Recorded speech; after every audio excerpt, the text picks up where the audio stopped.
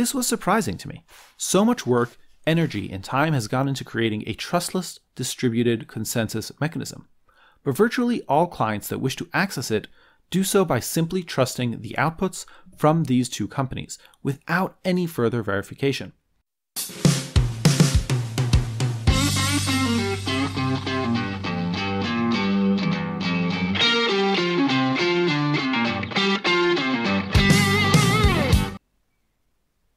Hello and welcome to Ethereum Audible, Ethereum in depth, where we read the best in Ethereum and the Web3 ecosystem. I'm Yoshua Zlatogorsky, and we are going to be continuing our exploration of why Web3 and Ethereum is important, what crypto brings to the table. Last week we read DHH's and Punk 6529's take on what crypto brings to the table in terms of the freedom to transact and why it's so important. Today, we're going to be flipping the side and we're going to be taking a bearish look on the first impressions of Moxie, who is the founder of Signal, the communication messaging app, and his first impressions of Web3 and the problems that he's found. Um, really important to read the other side of the table, so to say, and get a point of view from other people on the ecosystem. At the end, I'm also going to be sharing my thoughts kind of on what I think is right and wrong in this article. Um, and next week, doing a much longer breakdown of what my personal opinion in, is on what Web3 brings to the table. But first, today we will be reading my first impressions of Web3 by Moxie. Before we dive into that, just want to give a shout out to Alpe Audio for sponsoring and helping get Ethereum Audible out the door. Alpe Audio, ALPE, is a audio course platform where you can find and learn courses on the go through audio wherever you want, whenever you can, whenever you have the time, screen free, with all the bells and whistles that you would expect from an audio course. Basically, imagine a podcast on steroids, where every lesson has summaries, flashcards, chapters, further resources that you can explore all in your pocket, with the idea of really providing uh, professionals the ability to master a topic in depth from A to Z in the time that they have. So, thank you to Alpe Audio for sponsoring Ethereum Audible. And with that, let's go my first impressions of Web3 from January 7th, 2022. Despite considering myself a cryptographer, I have not found myself particularly drawn to crypto. I don't think I've ever actually said the words, get off my lawn, but I'm much more likely to click on Pepperidge Farm Remembers flavored memes about how crypto used to mean cryptography than I am the latest NFT drop. Also, cards on the table here, I don't share the same generational excitement for moving all aspects of life into an instrumented economy. Even strictly on the technological level, though I haven't yet managed to become a believer. So, given all of the recent attention into what is now being called Web3, I decided to explore some of what has been happening in that space more thoroughly to see what I may be missing. How I think about 1 and 2. Web3 is a somewhat ambiguous term which makes it difficult to rigorously evaluate what the ambitions for Web3 should be. But the general thesis seems to be that Web 1 was decentralized, Web 2 centralized everything into platforms, and that Web 3 will decentralize everything again. Web 3 should give us the richness of Web 2, but decentralized. It's probably good to have some clarity on why centralized platforms emerged to begin with, and in my mind, the explanation is pretty simple. 1 people don't want to run their own servers and never will. The premise for Web 1 was that everyone on the internet would be both a publisher and consumer of content, as well as a publisher and consumer of infrastructure. We'd all have our own web servers with our own website, our own mail server for our own email, our own finger server for our own status messages, our own Chargen server for our own character generation. However, and I don't think this can be emphasized enough, that is not what people want. People do not want to run their own servers. Even nerds do not want to run their own servers at this point. Even organizations building software full time do not want to run their own servers at this point. If there's one thing I hope we've learned about the world, it's that people do not want to run their own servers. The companies that emerged offering to do that for you instead were successful, and the companies that iterated on new functionality based on what is possible with those networks were even more successful. 2. A protocol moves much more slowly than a platform. After 30 plus years, email is still unencrypted.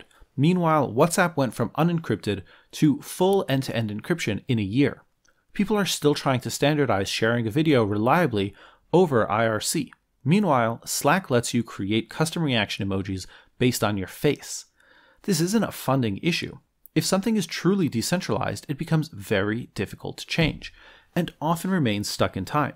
That is probably a problem for technology because the rest of the ecosystem is moving very quickly, and if you don't keep up, you will fail.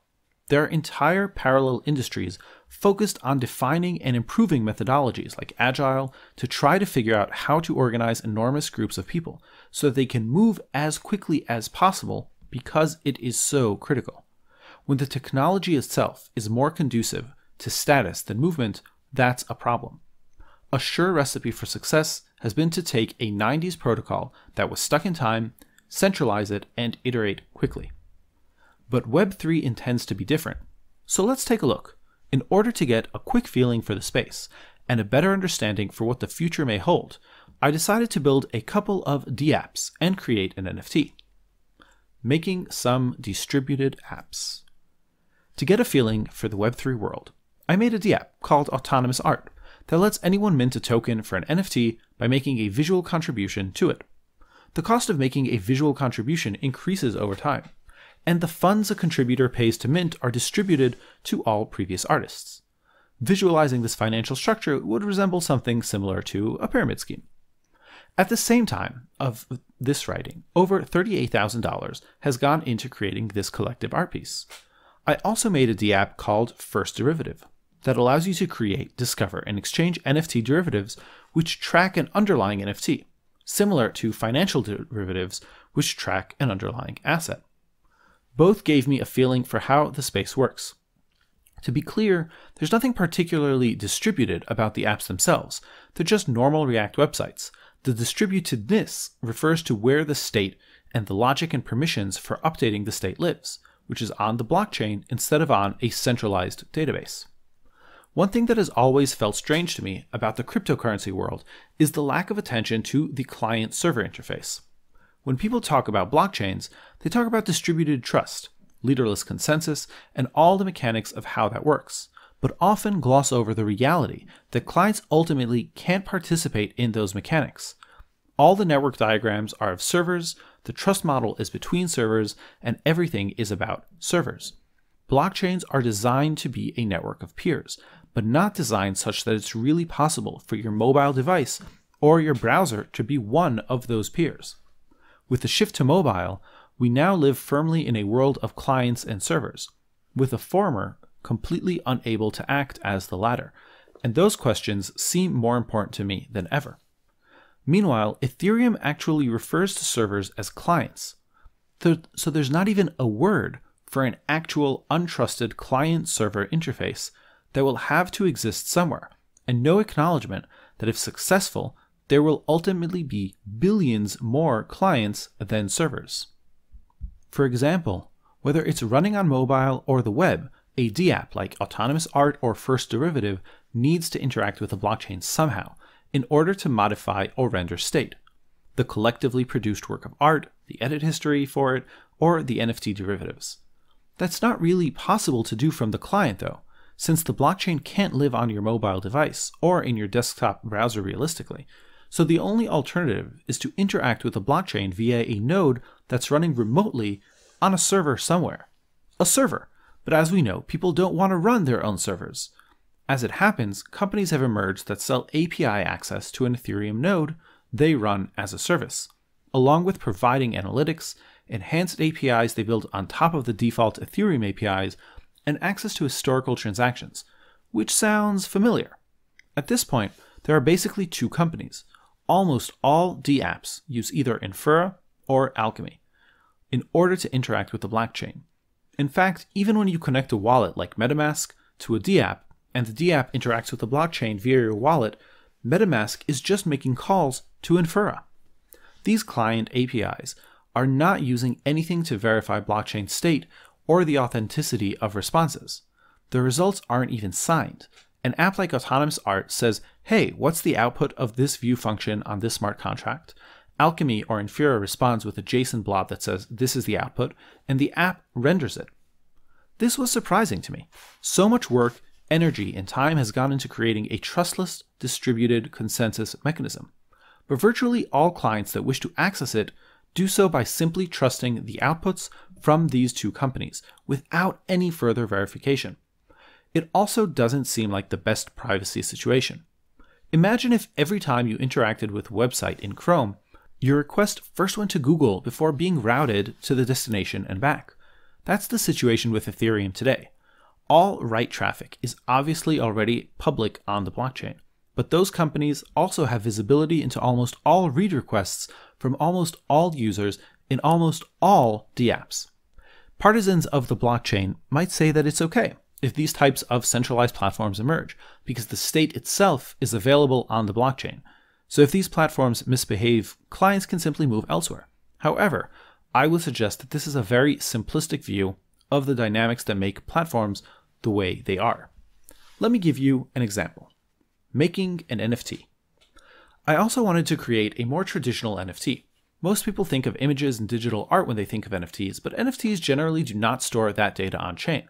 For most NFTs of most images, that would be much too expensive. Instead of storing the data on chain, NFTs instead control a URL that points to the data. What surprised me about the standards was that there's no hash commitment for the data located at the URL. Looking at many of the NFTs on popular marketplaces being sold for tens, hundreds, or millions of dollars, that URL often just points to some VPS running Apache somewhere. Anyone with the access to that machine Anyone who buys that domain name in the future, or anyone who compromises that machine can change the image, title, description, or whatever for the NFT to whatever they'd like at any time, regardless of whether or not they own the token.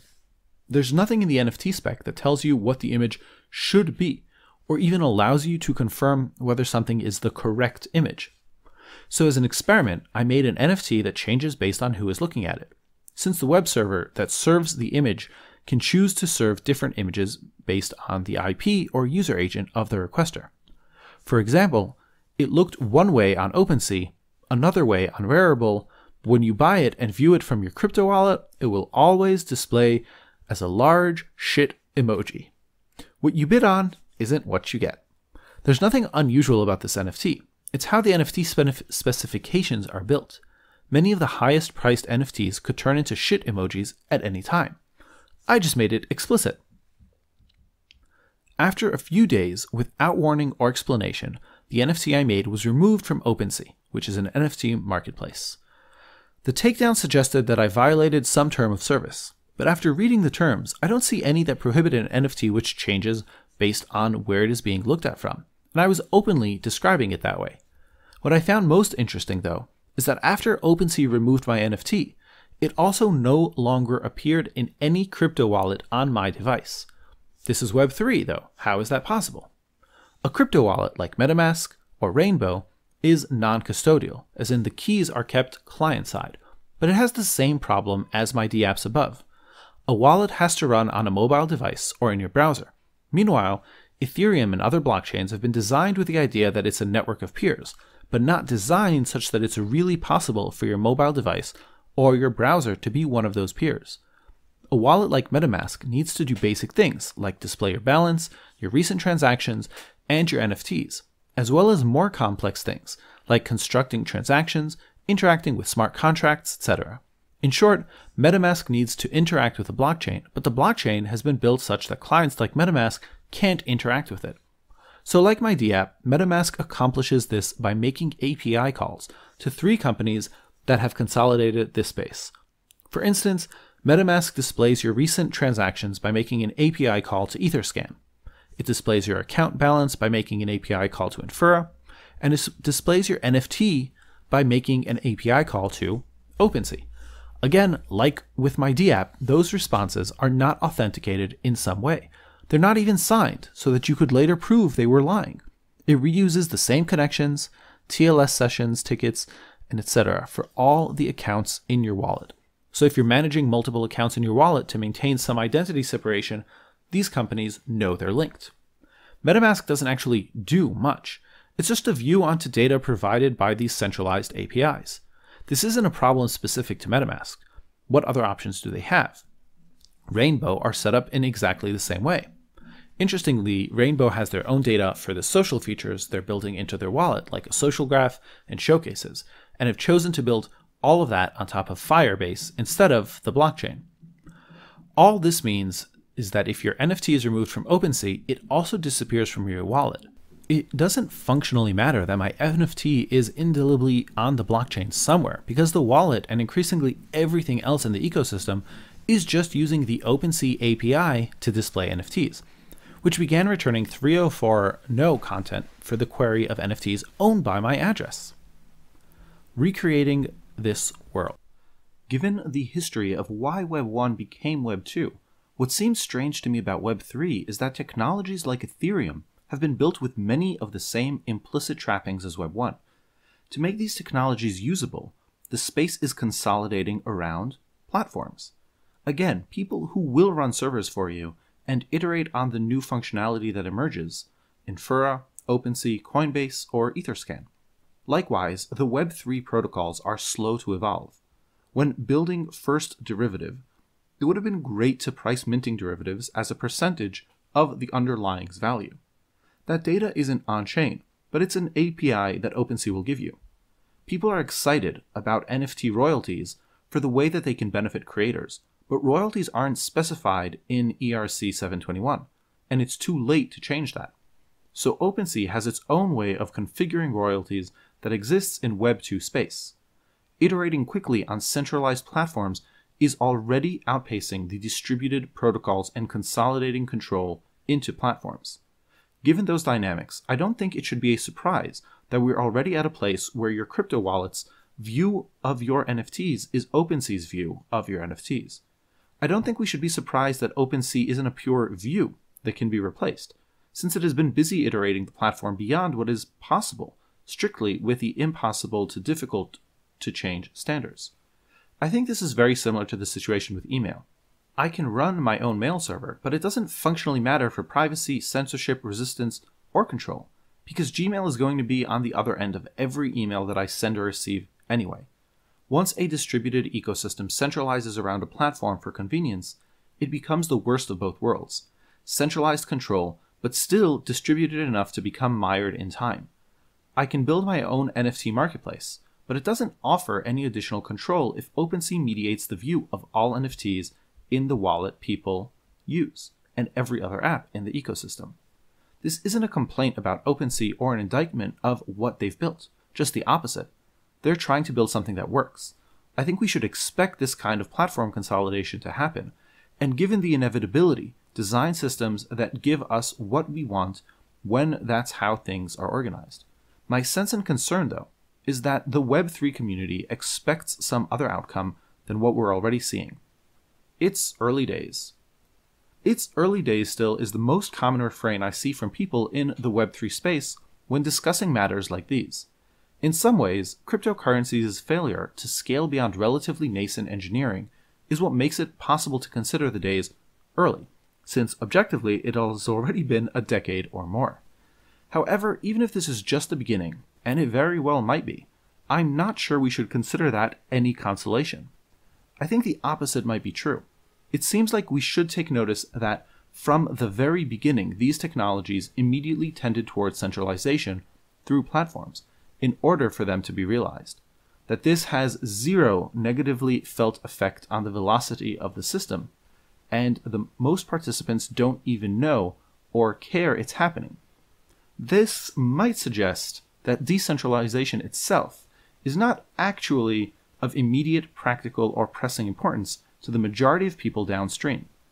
That the only amount of decentralization people want is the minimum amount required for something to exist, and that if not very consciously accounted for, these forces will push us further from rather than closer to the ideal outcome as the days become less early. But you can't stop a gold rush. When you think about it, OpenSea would actually be much better in the immediate sense if all the Web3 parts were gone. It would be faster, cheaper for everyone, and easier to use. For example, to accept a bid on my NFT, I would have had to pay over 80 to $150 just in Ethereum transaction fees. That puts an artificial floor on all bids, since otherwise you'd lose money by accepting a bid for less than the gas fees. Payment fees by credit card, which typically feel extortionary, look cheap compared to that. OpenSea could even publish a simple transparency log if people wanted a public record of transactions, offers, bids, etc., to verify their accounting. However, if they had built a platform to buy and sell images that wasn't nominally based on crypto, I don't think it would have taken off. Not because it isn't distributed, because as we've seen, so much of what's required to make it work is already not distributed. I don't think it would have taken off because this is a gold rush. People have made money through cryptocurrency speculation. Those people are interested in spending that cryptocurrency in ways that support their investment while offering additional returns. And so that defines the setting for the market of transfer of wealth. The people at the end of the line who are flipping NFTs do not fundamentally care about distributed trust models or payment mechanics, but they care about where the money is. So the money draws people into OpenSea. They improve the experience by building a platform that iterates on the underlying Web3 protocols in Web2 space. They eventually offer the ability to mint NFTs through OpenSea itself instead of through your own smart contract. And eventually, this all opens the door for Coinbase to offer access to the validated NFT market with their own platform via your debit card. That opens the door to Coinbase managing the tokens themselves through dark pools that Coinbase holds, which helpfully eliminates the transaction fees and makes it possible to avoid having to interact with smart contracts at all. Eventually, all the Web3 parts are gone, and you have a website for buying and selling JPEGs with your debit card. The project can't start as a Web2 platform because of the market dynamics, but the same market dynamics and the fundamental forces of centralization will likely drive it to end up there. At the end of the stack, NFT artists are excited about this kind of progression because it means more speculation or investment in their art. But it also seems like if the point of Web3 is to avoid the trappings of Web2, we should be concerned that this is already the natural tendency for these new protocols that are supposed to offer a different future. I think these market forces will likely continue, and in my mind, the question of how long it continues is a question of whether the vast amounts of accumulated cryptocurrency are ultimately inside an engine or a leaky bucket.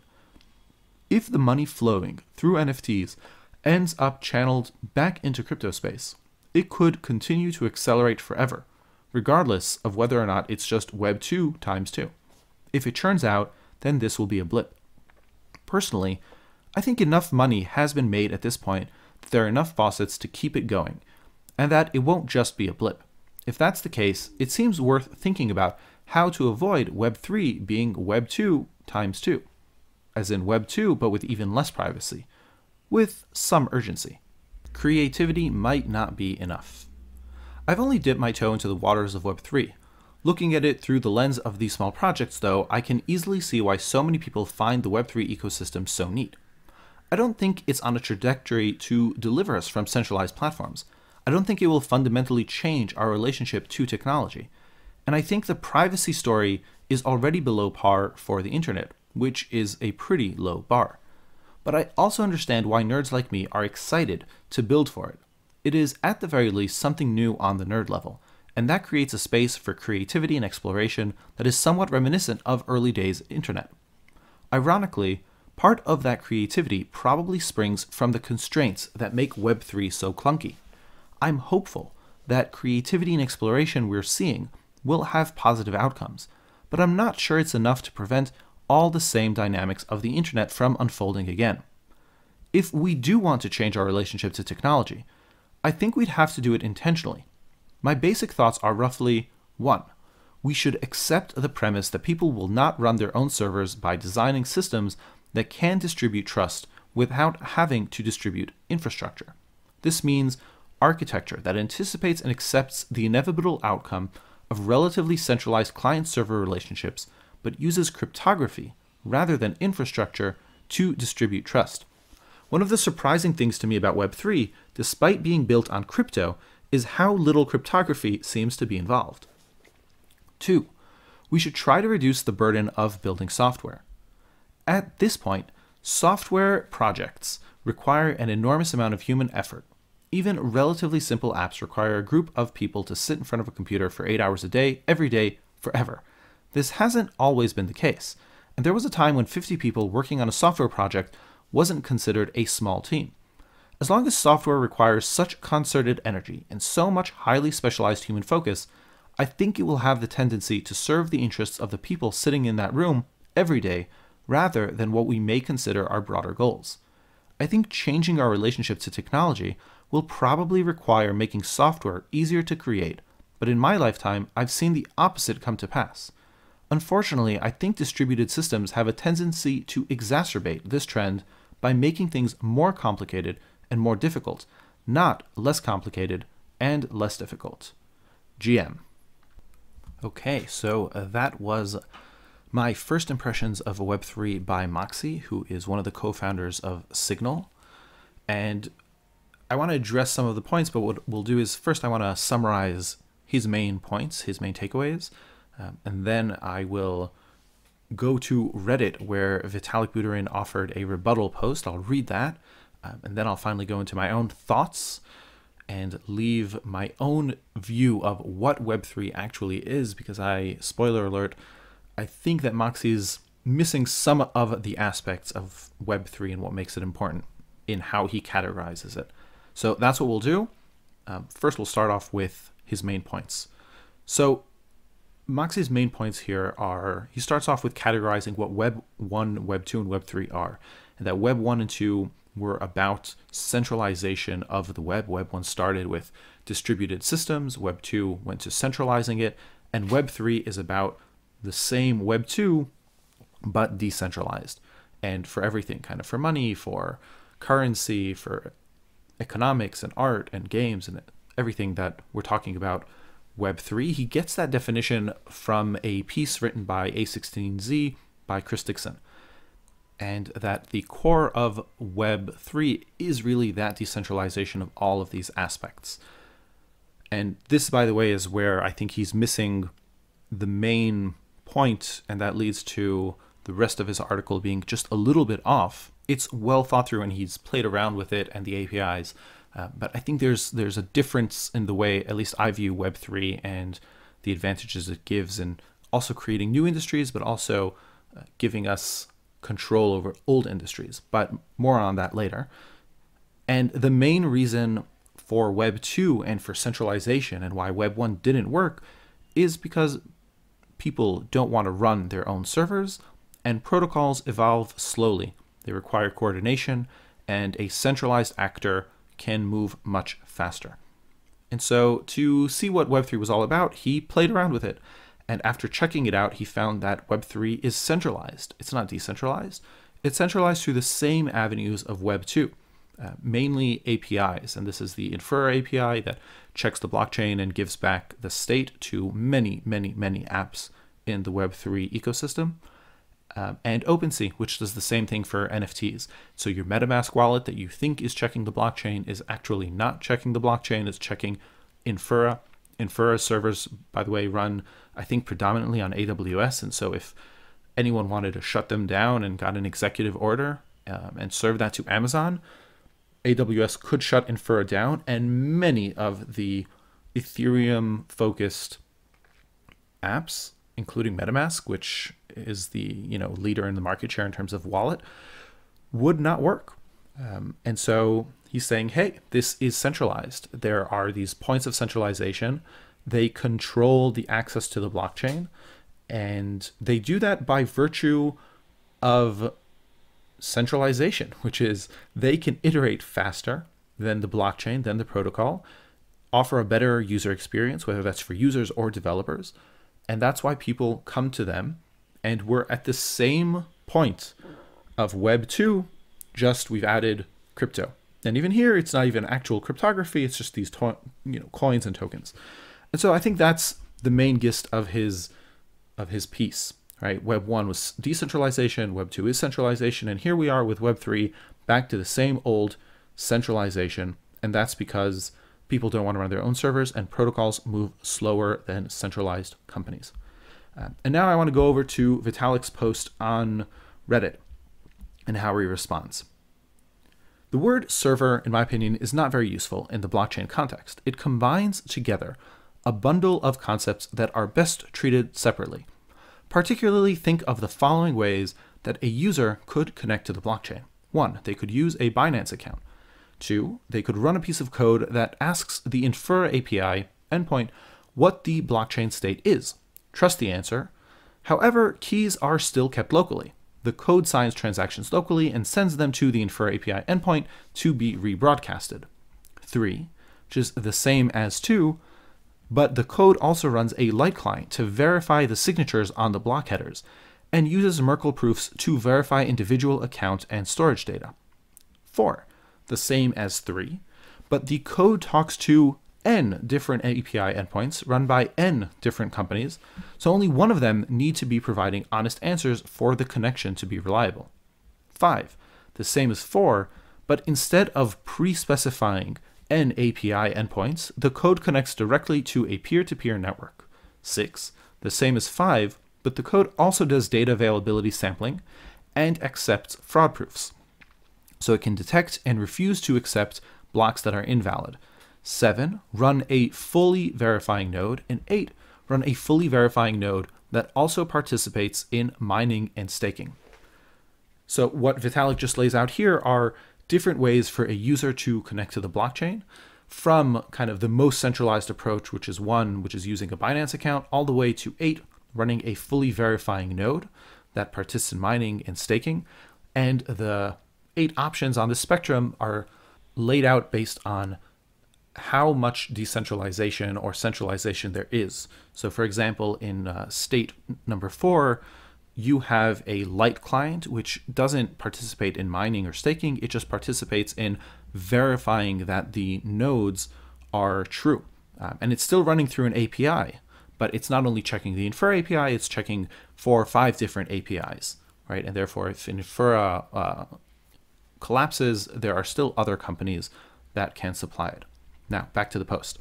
Currently, only option 1s, 2, 7, and 8 are feasible. Uh, 1 and 2 are the Binance account, or 2 is running a piece of code, basically the MetaMask wallet, and 7 and 8 are running a full verifying node and participating in staking. So only the extremes are available today. And 7 and 8 are too expensive for most users. Indeed, the whole reason why blockchains are the future of decentralization and self hosting is not that running a server that stays online 24 7 is even harder than 8. If your staking node is only online 95% of the time, you're fine. If your website is only online 90, 95% of the time, that presents a serious annoyance for the users. Moxie's critiques in the second half of the post strike me as having a correct criticism of the current state of the ecosystem. But they are missing where the ecosystem is going. There are already teams working on implementing 3, 4, and 5, which are, just a reminder, the different kinds of light clients where you would verify different APIs and verify the blockchain yourself. And active research on making 6 happen. 6 is the code also does data availability sampling and accepts fraud proofs. So you're really engaged in verifying that the blockchain is correct. These efforts, contrary to Moxie's claim that there's little cryptography involved in crypto, are heavily based on some of the most cutting edge and advanced cryptography out there. Verkle trees, ZK snarks of the Ethereum virtual machine, BLS signature aggregation, and so on. As for my theory about why this hasn't happened yet, I would say a lot of it comes down to limited technical resources and funding. It's easier to build things the lazy, centralized way. And it takes serious effort to do it right. The Ethereum ecosystem did not have that much resources up until around four years ago. Of course, four years ago, the ecosystem did start to have a lot of resources, but new projects are slow to ramp up, and the centralized workarounds have had years of a head start. One thing that makes the ramp up even slower is the chain of dependencies. In order to have light clients, we need to have a light client friendly chain, which is a deep change to the protocol. And so the only realistic opportunity to implement it is to switch to proof of stake. And we're only now at the point where we have the proof of stake, and full integration with the merge is coming soon. Fortunately, the dependencies are being attacked and resolved one by one. There has already been a lot of progress. Once the general purpose hard legwork is done by a few dedicated teams, building trustless applications will become much more feasible for all dev teams, and that would just need to plug in the libraries. So I think the properly authenticated decentralized blockchain world is coming, and is much closer to being here than many people think. Of course, it's always possible that all this tech will get built and many people will not care, but I'm more optimistic. Users generally accept defaults given by developers, and many developers really do genuinely care about decentralization and trustlessness, and growing legal issues surrounding centralized points of trust will push them to care more. Decentralized options that users reject today, like running a full node, really are quite difficult today, so it's understandable that users are sticking to the more centralized options that at least they can easily use. None of the proposals outlined here are anywhere remotely as difficult, and even running a full node itself will get easier and cheaper over time, as ideas like statelessness and history expiry come into play. So I see no technical reason why the future needs to look like the status quo today. So that's Vitalik's response. And if I had to summarize that, it would be two things. It would be one, yes, the current state today isn't ideal, but there are ways that the Ethereum Foundation or different client teams have on their roadmap eh, to get to a more decentralized vision of the ecosystem in the future. And it's not kind of pie in the sky, it's actually very concrete, but unfortunately, this is a process that some steps have to have to happen first. And the Ethereum teams have uh, kind of the Ethereum Foundation has had a very, very slow, if you wanted to look at it on a startup level, they had a very slow ramp up time from 2015 through kind of 2018, 2019. And in that sense, Moxie is completely correct. Startups or centralized companies definitely work faster than protocols. Um, but here, I think the main takeaway from Vitalik's response is that there is a roadmap ahead. It does solve the issues that Moxie is raising, um, and we're going to get there. I had a few other points that I wanted to bring up um, regarding decentralization. And it's that decentralization is a spectrum. We like to think about it as binary. You're either decentralized or you are centralized, but that's not how I think it actually plays out. The option to exit the system, even if it's marginal, has much more clout than we think. That is to say that in a system where even 95 or 98% of the system runs on completely centralized infrastructure, the 2% that gives the exit ramp, the off ramp, is much more powerful than we imagine and really affects the entire system. Uh, take, for example, a bank run, right? A bank run happens very, very rarely, but in a world where bank runs are possible and people can actually withdraw their money, those bank runs affect the way the entire bank system is run every single day because banks know that customers can come and pull their money out in a time of great distress. Today, by the way, that's not so possible with a lot of government regulation, but the same, by the way, exists in competition. The difference between a complete monopoly and having two competitors is very, very different. Um, even if one of those competitors is relatively small, having Lyft in a market with Uber completely changed the picture for Uber. And I think the same is true in the Web3 world.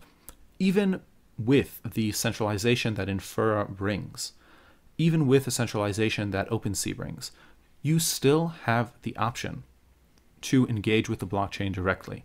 It's harder, it's more on you know the extreme edges of people who have the technical capabilities to do it and build it but it exists the keys are still your own the tokens are still your, yours the nfts are still yours you control access to it it's your secret key And that ability at the end of the day is everything because if MetaMask or Infura or OpenSea became centralized and people didn't want to interact with them, they have the option to do something else.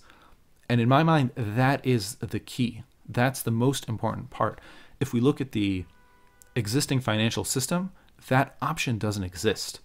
You have no off ramp if the government decides something, if other countries decide something. There is no off ramp. You don't control. And with the blockchain, even though it is centralized today, you have that option. And in my mind, that matters to, to everything. And that's what everyone has in the back of their mind when they think about these systems. They know that at the end of the day, someone can simply fork their protocol or withdraw or engage with a blockchain directly. And as long as the blockchain itself is distributed and is decentralized, that's what matters. The other part that I think is coming into play here in the sense of its early days yeah, crypto has been around for 10 plus years already. Ethereum arguably has only been around for seven. Um, of those seven, it's only been mainstream for four. Um, through that time, it's been a crypto winter, and there just haven't been the same amount of developers working on it. I think now we're really at the tipping point where we have enough people working on Ethereum, on the Web3 ecosystem, that these excuses, you know, in two years, we can't give these excuses anymore because we have the critical mass. But in the early days of any technological change, what we see is integration across the ecosystem. In the early days of the mainframe, you had companies that did it all, right? IBM did that was that's why it was the mainframe. They they did the hardware, they did the software, they did the the go to market, they did everything because integration provides benefits early on. As ecosystems evolve and APIs exist and specialization occurs, that's when modularization in the value chain happens. Um, that's what we see today in the PC ecosystem, where Taiwan Semiconductors is going to be doing the chips, and Windows does the operating system, but HP does the actual manufacturing, and the distribution goes through someone else. That's the modularization of the value chain. And today, in many ways, we're still in the integration phase of the blockchain ecosystem. You still only have a few APIs um, that are used by everyone. You still only have a few dominant players like MetaMask or Uniswap for currency exchange. Like there, it is still a very much centralized ecosystem just because it hasn't evolved enough. I would expect that as time goes on, that integrated value chain becomes modularized and different API players come to compete with Infura and with OpenSea. And in fact, we're seeing part of that play out today. So today there's Alchemy that competes with Infura, and in a few years we'll probably have another company that does that. And in terms of the cryptography and uh, gas fees, I mean, if you guys have been listening, you know that things are changing here, right? We have uh, cryptography and privacy with zero knowledge proofs. Starkware this week just processed more transactions than the Ethereum main chain, which is amazing and crazy. Arbitrum, Optimism are bringing fees down. Like we're we're getting there. We're getting there much faster than people are aware of because this is not yet mainstream. You have to be pretty far down the crypto rabbit hole. You have to be listening to this podcast to know that. But we're getting there. And so this is the kind of integration versus modularization that I think is happening and will prove or kind of will disprove Moxie's thesis that everything is going to be centralized because that's what moves faster. There is no doubt in my mind that a centralized company moves faster than a protocol, but for an ecosystem, there is a huge, huge value in having an open protocol because people can innovate on top of that. And that is a large benefit that an open, decentralized platform offers, right? Uniswap cannot exist on a closed web. And Uniswap enables so many different games, applications, everything, because now you can trade in and out of uh, any currency. Um, and it's not only Uniswap, right? It's any automated market maker. And so that's the advantage where you can move quickly on an open protocol. So those were my thoughts on what I think Moxie specifically missing here. Um, next week, we'll be reading one last piece on Web3 and I will also be offering kind of my own take on what Web3 is. And I think it's slightly different than how Moxie defined it here. But this is a great piece. It's really well worth reading, especially if you're not aware of how centralized those APIs actually are and how much they affect the Web3 and the Ethereum ecosystem. So definitely, definitely well worth reading for that. And the rebuttal by Vitalik. Hope you enjoyed it. See you next week you